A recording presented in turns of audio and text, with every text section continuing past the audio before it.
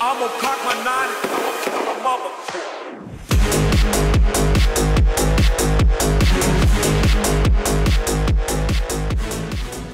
What's good everyone, welcome back to another Arkham Shadow video.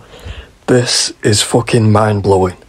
As you can see behind me, Fortnite, I don't know how Fortnite messed up or someone managed to get the leaks anyway, but as you can see behind me, these are all the leaks for Fortnite this year. This is everything that's going to be coming out, and you know it's real when you see the, the current season and the current collabs and stuff like that.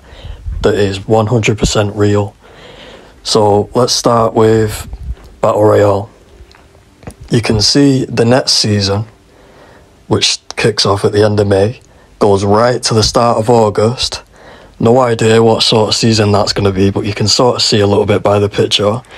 After that, we're going to be getting another Marvel season, which I think is great. I can't wait to see what that's going to be like. And then after that, at the start of, no, end of October, sorry, we're going to be getting the chapter 2 map back so it's going to be sort of be like the og season it's going to be season 1 2 and 3 of chapter 2 but obviously a little different and then chapter 6 kicks off right at the end of this year which is kind of usual for fortnite if you think about it then if you have a look at festival obviously now it's lady gaga as predicted the next skin is going to be billie eilish then it looks like after that it's going to be Metallica. No idea who's after Metallica. And then if you look at the end of October, it's going to be Snoop Dogg, which is pretty sick.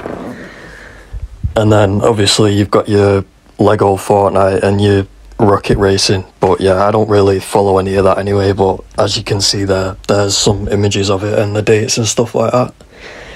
So yeah, this is what to expect from Fortnite this year. Hope you all enjoyed the video. Make sure to hit that like button, subscribe and comment. I'd greatly appreciate it. And I'll see you all again soon.